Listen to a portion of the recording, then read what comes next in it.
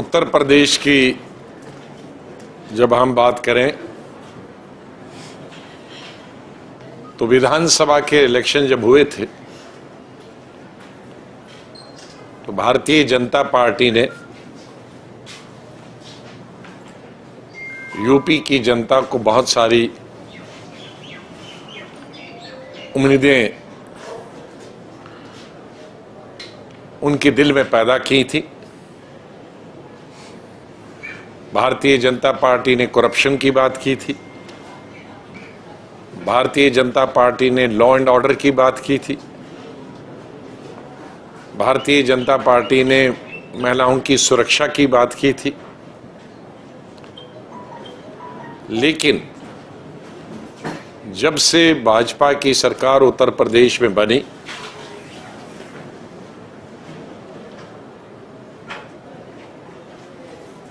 उत्तर प्रदेश के लोगों को जितनी निराशा हुई है और उस निराशा को देखकर पूरे देश को भी जितनी निराशा हुई, उसकी मिसाल कभी कहीं मिल नहीं सकती। उत्तर प्रदेश में सरकार जैसे नाम की कोई चीज़ नहीं। उत्तर प्रदेश में लॉ एंड ऑर्डर नाम की जैसी कोई चीज़ नहीं। अगर जिसे वाकई कहेंगे जंगल राज, वो उत्तर प्रदेश में। कोई भी सुरक्षित नहीं सड़क पे चलने वाला सुरक्षित नहीं है। चाहे वो किसी भी धर्म, जाति का व्यक्ति हो, वो सुरक्षित नहीं है। महिलाएँ सुरक्षित नहीं है। साधारण आदमी सुरक्षित नहीं है। लॉ एंड ऑर्डर की ऐसी स्थिति है कि अभी एक पुलिस ऑफिसर मारा गया और जिसमें अनुमान लगाया गया था शुरू में कि वो भारतीय जनता पार्टी के सहयोगी जो दल है, उन्हीं से, उन्हीं में से कोई था। लेकिन आज तक कोई पकड़ा नहीं जाता। कभी एक एक को पकड़ा जाता है, कभी दूसरे को पकड़ा जाता है, कभी तीसरे को पकड़ा जाता है। गुंडा राज चल रहा है, उत्तर प्रदेश। असली गुंडों को तो कोई पकड़ नहीं रहा है, लेकिन मासूम लोगों को कहीं एनकाउंटर के नाम पे और कहीं दूसरी दल से उनका संबंध है, इसलिए उनको पकड़ा जा रहा है। उन्नाव में जो घटना हुई, बलात्कार की घटना हुई पकड़ना तो चाहे था बलात्कारियों को, लेकिन जिसने रिपोर्ट की है, उसी पर केस वापस कर दिया।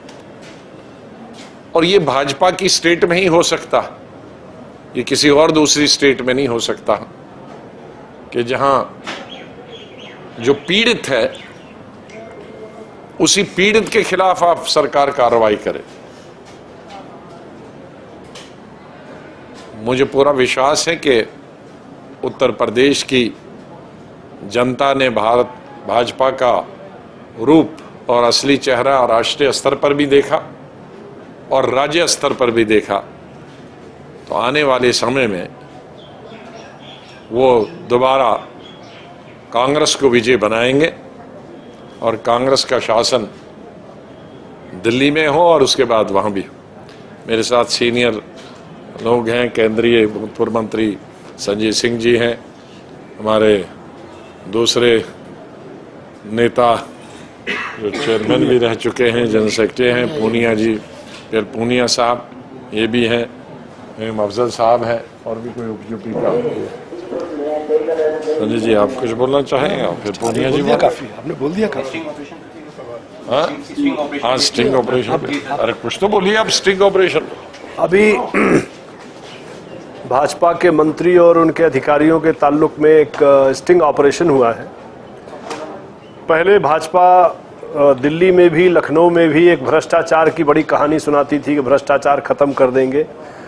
लेकिन आज जो देखने सुनने में आया है, उससे पता चलता है कि कितना भ्रष्टाचार इनकी जड़ जड़ में घुसा हुआ है। आज धीरे धीरे भाजपा और इनके सत्ताधारी एक्सपोज हो रहे हैं। जनता ने भी ये सारा एक्सपोजर देख लिया है। उसी आधार पर इनके दिन खराब होने वाले हैं और देश की जनता के दिन अच्छे आने वाले हैं। वहाँ बीजेपी कह रही है कि हमने तो मामला दर्ज करवा दिया जो दोषी है। कार्रवाई होगी।